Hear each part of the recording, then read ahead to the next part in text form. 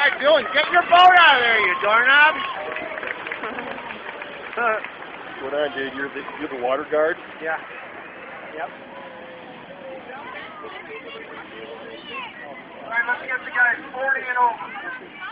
40 and over, underneath the yard. Uh, here we go. We're at the first round of swimmers heading out at the Metro Brokers The relay team's here. Triathlon here. And this is the old guy crew here. These are the over 40 guys.